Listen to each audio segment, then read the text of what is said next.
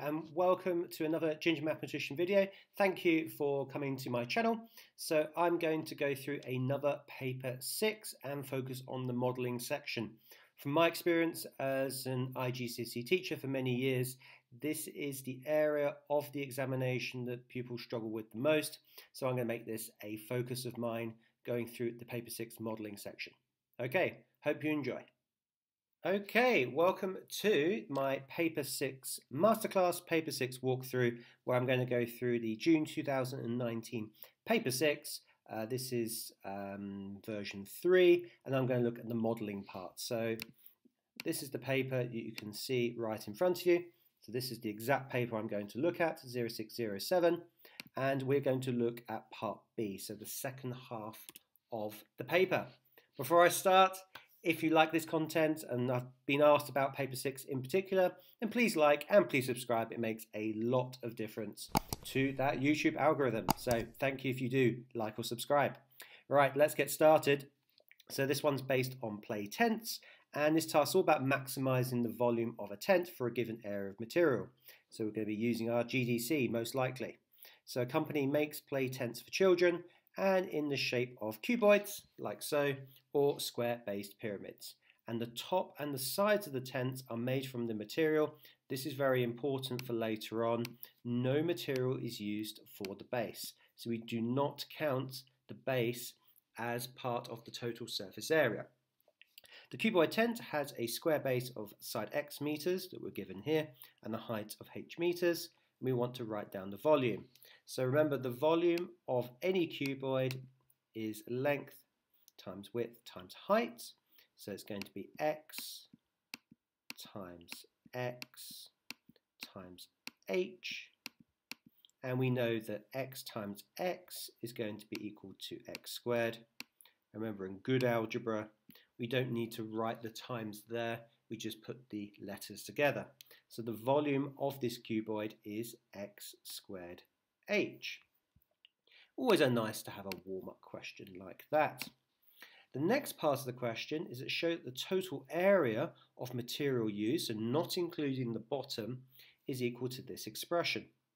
So the way I would do this is I'd actually work out each of the individual faces I need to work out. So I'm going to draw a quick sketch where this is x, this is x, and this is h.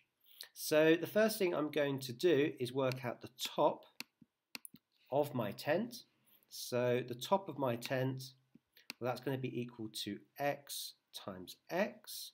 That's going to be x squared. And now I'm going to think about the other faces. So I'm going to think about, and let's color code this. So the blue face here, the blue face here, the one that we can't see over here, and the one at the back, and they're all going to have the same dimensions because this front face here is x times h, and then we have one at the back as well. And if we consider the sides, we have also x times h, and then this one over here. So how many sides are in blue? Well, one, two, three, four. What's the area of one particular face? Well, that's going to be x times h. So we have, or hx, we can do it the other way around. So h times x is one side. How many sides do we have? One, two, three, four. So we put four in, like so.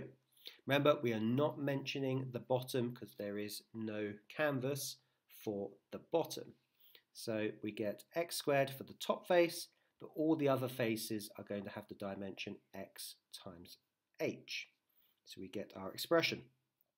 So far, reasonably normal with volume and surface area. This part is a bit more tricky. So the company uses 8 square meters of material to make each cuboid tent. And using the two answers we got before, we need to work out the model for the volume can be written like this. So the first thing I've noticed when looking at this formula is we've got lots of x's, but there's no h in our formula. No h. So that serves as a trigger for, well, I need to write h in terms of x. Now, I'm not allowed to have an h in my final formula. So if we go back to this formula here. The total surface area of the tent here, let me write it up here. So A was equal to x squared plus 4hx, or xh. Now we're told some extra information in this question, which is the company uses 8 square meters. So we can substitute A for 8, because we're told this in the question. So we get 8 equals x squared plus 4hx. At this step, we've now got a formula in terms of h and x, and we need to make h the subject. So we can do h equals something with x. The way we do this is a straightforward changing the subject kind of operation. So we minus x squared from both sides. That gives us then 8 minus x squared equals 4hx. And now we want to get h on its own. So what's the opposite of timesing by 4 and x? Well, it's going to be dividing by 4 and x. So if I do that, I then get 8 minus x squared over 4x is equal to h. And I get what I want, which was I get h in terms of x. So we've used part B of the previous question. Now what we're going to do is take the volume formula, which if you recall, was v equals x squared h.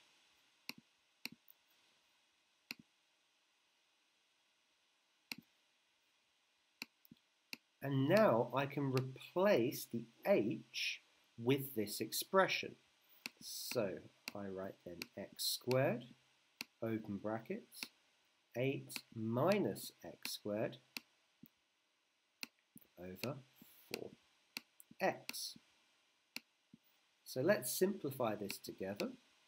So I get x squared. Remember, this is the same as x squared over 1, if you want to think of it that way. 8 minus x squared over 4x. We're so close to this formula here, but we can cancel an x top and bottom. We're allowed to do this. So we're going to cross an x out here. We're going to remove an x from here.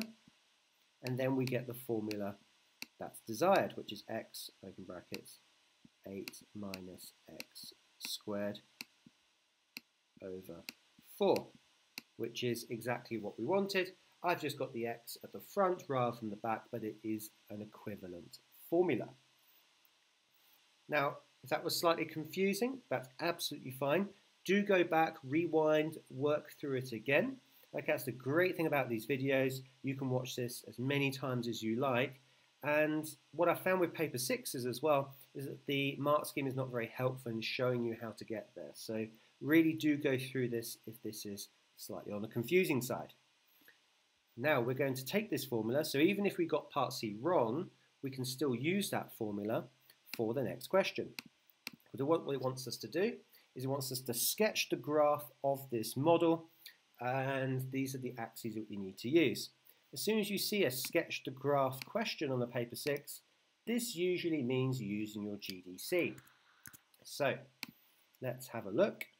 So we are going to use our GDC make sure it's in graph mode. You can do this by pressing on, new, and add graph. And we're going to type in this function. So we go control and divide to give us a fraction. We do bracket 8 minus x squared x. Now I'm going to put times by x just to make sure calculator knows what I want to do.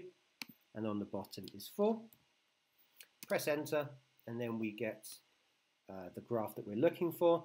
But this is what's really important about looking at the question.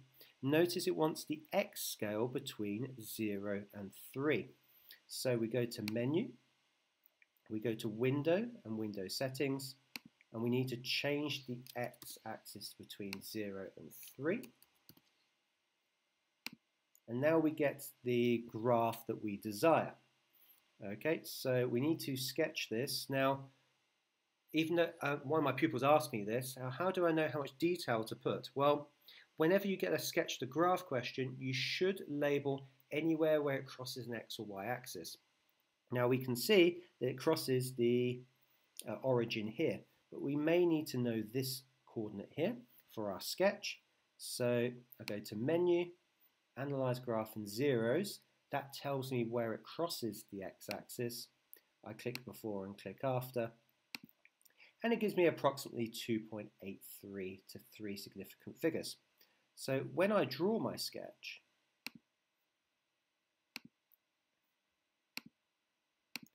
this is the important part here. So I'm going to draw my curve, but I need to make sure that when I cross the x-axis, I cross before the 3 because I know this is 2.83 approximately to three significant figures. So whenever you do a sketch, generally speaking, label the x-intercepts and the y-intercepts, okay, just to make sure you get all the marks. And we'll look at the mark scheme. Actually, I'll look at the mark scheme now for you. And you'll see, here's your correct sketch. You only get one mark for this, but just to make sure, in case it's a two-mark question, I would label this. It's good practice to do such a thing. Okay. Uh, the next part of the question wants to find the maximum volume. So what we're going to do here is we're looking for the maximum, okay, which I'm going to label approximately here. So the way we find the maximum is we go back to our GDC. We know it's roughly around here. We click on menu, we click on analyze graph, we click on maximum, and we click before the maximum, we click after the maximum, okay and then we're going to read off our value. Okay. Now notice that we want the maximum volume of the cuboid tent so we're not looking for the x coordinate here but we're looking for the y coordinate because you want the volume of the entire cuboid tent yeah? You want the function v which in this case is our y. So you actually want the y value here. The great thing about this you can actually move it around so we want then this value here, 2.177, which as a standard thing, you want to put this always to three significant figures. So it's going to be 2.18. Okay, and this is going to be cubic meters because we're looking for a volume. Okay, which they don't ask for the correct units, but again, you want a standard procedure, you want to make sure you have that there. Okay, on to part E. So customers want to buy tents with a height of at least one meter. So using your part answer to part A, sketch on the axes above the graph of V against X when H equals 1. Again, this is a non-linear paper. We often have to work backwards through the problem.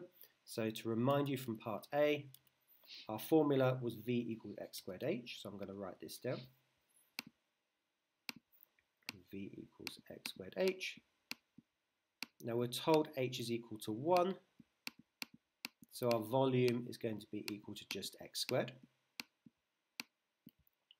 Okay, so using your answer to part A, sketch on the axes above, so we need to go back to the previous question, the graph of v against x when h is 1. Well, this is just going to be a parabola, so remember y equals x squared, which is what we generally work with. Okay, it's just going to be the parabola, and we're going to look at the positive axes. Um, if you're not sure about that, you can always go back to your GDC. Press tab, it's a really good function here. You press the tab button and you can create your second function, which is going to be x squared. And it will look like this. So if you're not sure about what y equals x squared looks like, put it into your GDC and then we're going to draw a sketch onto our part here. So I'll use a different color. So it will look like this. Notice the parabola goes up before the maximum point. So do make sure you're accurate with doing this. And as you see on the mark scheme, again, they're just looking for the general shape. And then the final part of this question, we need to find the volume of a cuboid tent made from 8 square meters of material with a height of 1 meter.